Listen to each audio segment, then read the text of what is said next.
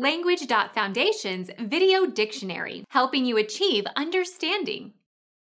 A constant load on a structure, e.g. a bridge, due to the weight of the supported structure itself.